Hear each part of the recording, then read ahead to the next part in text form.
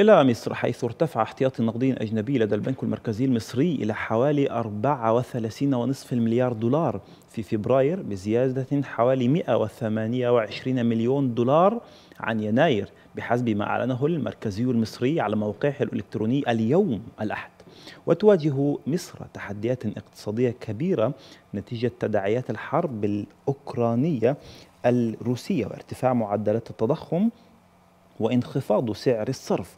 وتوصلت مصر لاتفاق مع صندوق النقد الدولي من أجل الحصول على قرض جديد بقيمة 3 مليارات دولار بما يمكنها من جذب استثمارات خارجية جديدة في أدوات الدين وتشجيع المستثمرين على التوسع في مصر.